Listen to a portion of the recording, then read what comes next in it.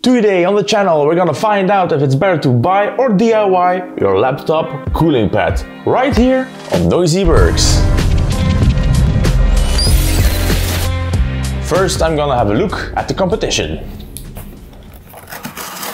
This is one of the more expensive and best rated cooling pads right here on amazon.nl. Let's have a look what's inside. So this is supposedly to be a fancy one. Fancy one that comes with basic packaging.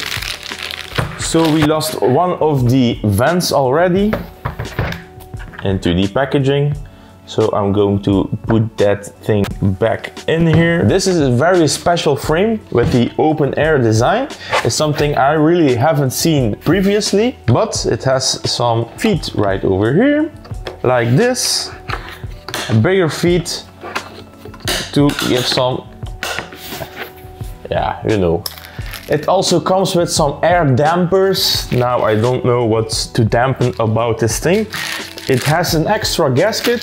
It comes with the USB cable, so I guess this has to be powered by USB. The store-bought one feels a bit cheap. It's very plasticky in the sense that it feels cheap. And uh, the overall looks are okay, I guess. We have a double USB A port. I think it's a pass-through and it's a power port. We have two dust filters and we have some control things down here. We have the two rubber feet. Well, these are metal feet with some rubber pads on it to make sure that your laptop doesn't slide off. And on the back side, there's nothing special except for the height adjustable feet like this. For my design, first we have to assemble it. But before all that, we have to sand it and glue it.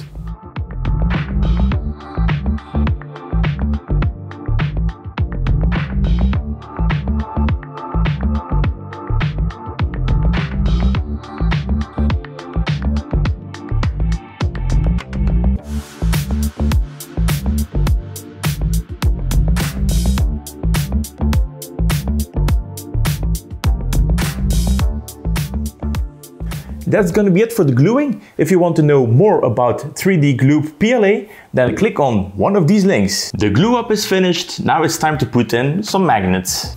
The file comes with two little feet that mount right here with some magnets. The magnets that you will need to use are 5 millimeters in diameter, but you can always drill out these holes a little bit bigger so you can fit your own style of magnets. I'm gonna give them a little tap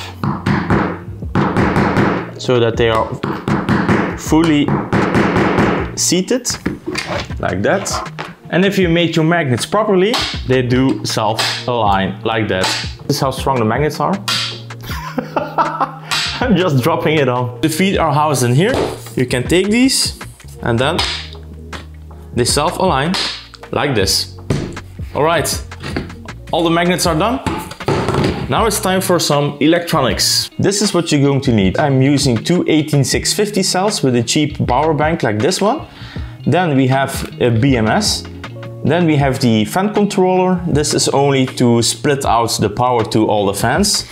You need, of course, three fans. Then we have a boost converter. This takes the lower voltage and ramps it up to the voltage we want, higher in this case. Then we have a switch button and two types of wire. Why am I using this BMS? We are using this power bank only to charge the batteries and we take the power directly from the cells. So we need some kind of protection for undervolting and overcurrent. The fan control already came with some connectors like these ones. I think this is a Molex one. I soldered two wires on it and I put these on the output of this board. Now we have to deliver it with energy that we are going to take from this power bank and we have to put in this BMS.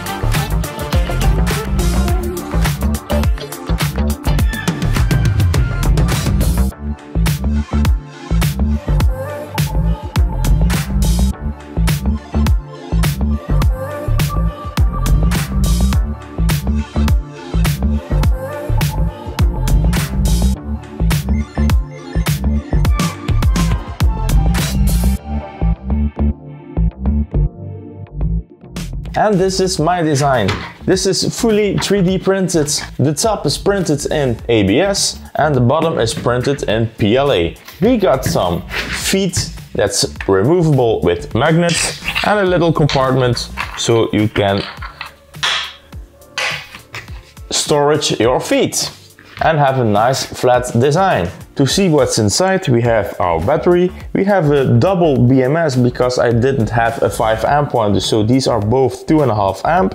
We have our uh, voltage converter. This takes the voltage from 4 volts and converts it to, I think I set it to 8 volts.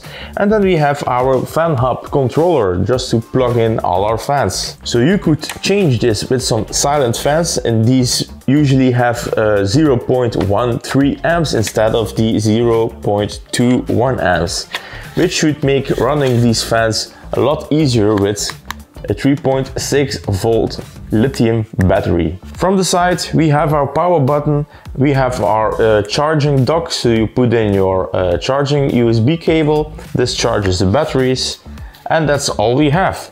Turning it on, you can hear it makes some buzzing noises. That is our voltage regulator and we have some fan noise because the blades are uh, fairly close to the grate pattern. Now we had our first look at the two designs. Let's first start with powering up the store-bought one. I'm gonna plug in the USB-A port in the back. We have some colors. And we have some fans. I can hear some fans. We have our on and off button. This just turns off everything. All right, we have our LED these are static colors. And if you long press it, you just turn it on or off, apparently. I'm really surprised there are only LEDs at the bottom. That one and two on the side like this. And the fans are blower style because if you look inside, maybe or maybe not you can see, but these are powered by some uh, blower fans. So this, these are going to be 5 volt blower fans. Then we have speed, speed number 1, number 2 and number 3. And these push on decent airflow. I am uh, really surprised. So we have the zero speed, I guess. Then we have speed 1, speed 2, speed 3 and I am very surprised about the airflow. Let's put on the laptop.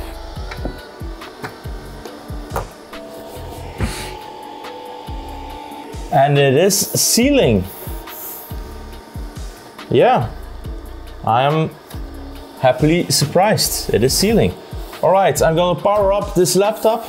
We're going to do some tests and compare it with my design right over here do some price comparisons, say what I think about it, and then we can come to a conclusion. The game that we are going to test with is Hitman. Why Hitman? Because Hitman is the most taxing that this laptop can have. Uh, CPU and GPU power. So let's load up a game. And this is going to be the test without any kind of help.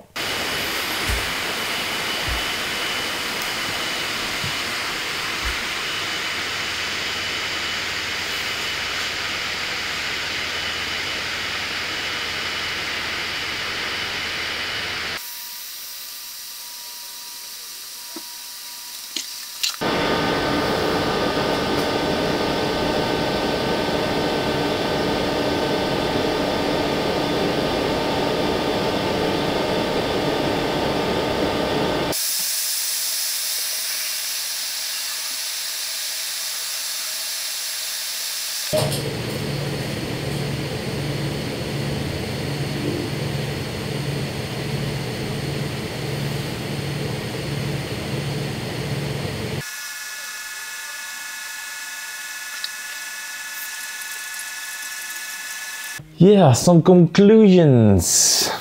The overall winner in temperature is this design. Then in order of coolness, I think mostly in fulfillness my own design. It was so much fun to design it, test it, see it working for the first time from 3D designing to the effective product. But I'm not giving up. Bonus points, as you might hear, it works fully wireless. You can charge it while using it. So that is, I think, bonus points because this thing has to be permanently plugged in. Okay, you could use a power bank or something like that, but if you want to go for the ease, my design, now I'm not going to give up on temperatures because if I learned one thing is that the seal probably made the difference. Now, luckily, give me a minute, the company I bought it from gave me another seal. So I am thinking if I take this seal and Alright, that's what I'm going to do. As you can see, I have just loosely draped the second seal they gave with the other one on it, like this. And this hopefully should give it a good seal with the laptop now. And so there's one thing I should do and that's test it. The seal is underneath. Now let's test it again and uh, maybe we can get the same temperatures. I'm going to plug it in to charge it because I have used it a lot. If we want maximum RPM of the fans, I cannot feel any wind from the side, so the seal is working.